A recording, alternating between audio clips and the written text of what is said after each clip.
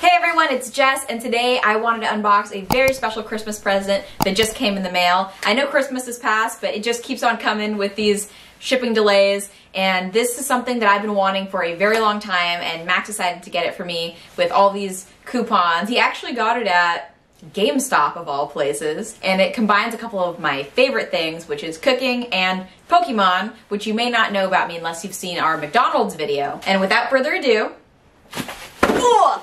I got a Pokemon waffle maker. Isn't that cool? When I was a little girl, my Uncle Jerry got me a Hello Kitty waffle maker, which I would talk about all the time. And um, honestly, this one I think is a lot better because if you look, the waffles are square. My Hello Kitty waffle maker, they were shaped like Hello Kitty's face, so they weren't good for like sandwiches. And I think I could use this to make um, sourdough waffles, and then we can use them to make breakfast sandwiches because we don't always have English muffins. That'll be a really fun way to make breakfast sandwiches. And I also like that this is pretty flat, like it's not as those bumpy things in a waffle iron, so I think this might also work as a sandwich press. This is a lot smaller than I thought it was gonna be, so it's got to be smaller than this box, and this box is already kind of small. I think my kitty one was bigger. Let's pop this guy open. It's got a little pika pika. Yeah, this was probably around $30, if not less, because there was some sort of weird sale on appliances at GameStop. I didn't even know that GameStop sold appliances at all, but um, they were like 15% off, and then Max also had a coupon from his email that he applied to this purchase. So that's pretty cute. It's got a little Pokeball, and I assume this is like, oh, it's hot and ready, or it's on, but it's not hot enough. I never look at the directions on waffle makers. I just preheat them, and then I put them in for usually about five minutes, but you can also visually tell um, that the waffles have stopped steaming, and that means they start getting crispy. So let's open that up. It has a cute little paper. And this is what I meant by the ridges not being very deep. If you look at these, it looks like I could use this as a sandwich press. So this isn't just a one and done type of appliance, which is why I'm normally against buying stuff like this. This is really small and I think I'll be able to just stick this under my cabinet next to my Instant Pot because it's so little. I'm really done with having stuff on the counter because our house is really small. I'm gonna plug this in and we're gonna see what we can waffle iron.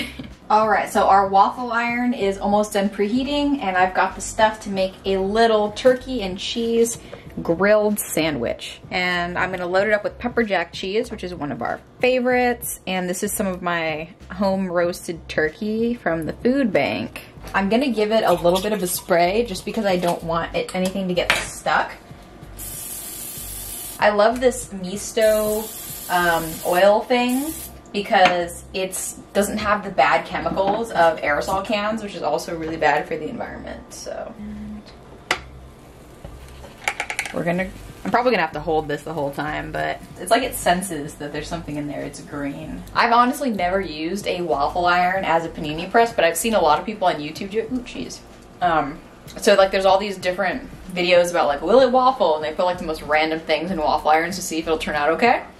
And um, so I thought this one would be a good choice because of the shape of it. It's more square and it's shallow, so I could squish more things in it. So maybe we could try doing kick mixes or um, uh, my favorite thing to eat is actually cornbread waffles. So I keep getting all this cornbread from the holiday food pantry stuff, and they're all in the back of my pantry. I've only made like one of them. But um, I, now that I have this, I'm going to make my favorite, which is cornbread waffles. The reason I like it so much is because I actually really like the crispy cornbread on a corn dog, but I'm not so big on the hot dog in the middle. So I like to do that. And um, whenever my parents would go grocery shopping, me and my sister and my grandma would look at each other and say, let's make cornbread waffles because it made three waffles with the waffle iron that I had. Ooh, that's looking good.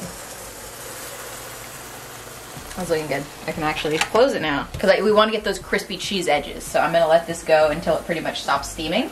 But yeah, so me and my sister and my grandma would whip up a batch of cornbread waffles. My parents would not really like us making waffles because they thought it was messy for us to like do the batter and get the Hello Kitty waffle iron out. So we would only do it when my parents weren't home and then we would eat all of the cornbread because it was just perfect. One box for the three of us. We would be happy and it'd be our little secret.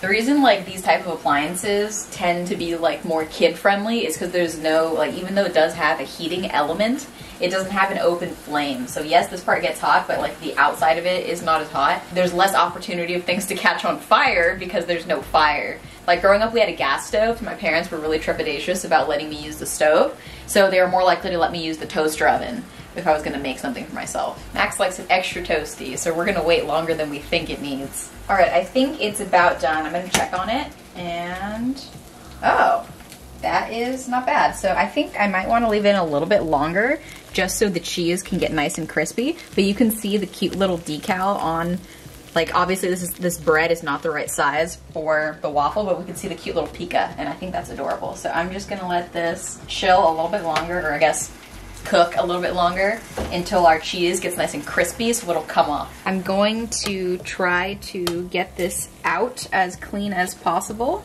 It looks like that's gonna be a bit of a challenge. Ooh, yeah, that's exactly what I wanted. You can see crispy cheese Pika. Let me give it a little cross section.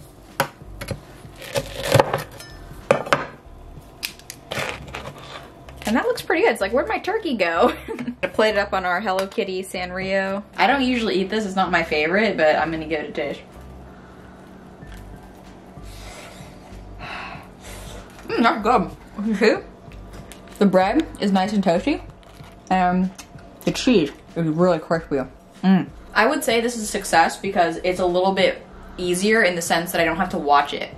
Normally I put it in a pan and I press it and then I have to flip it. So I press it with another pot with a jug on top to weight it down. But this is just one device, so that's a win. I would do that again. And um, potentially someone, maybe 10 or so, could be able to make their own little crispy sandwiches like this when they get home from school. All right, I whipped up a batch of Jiffy cornbread.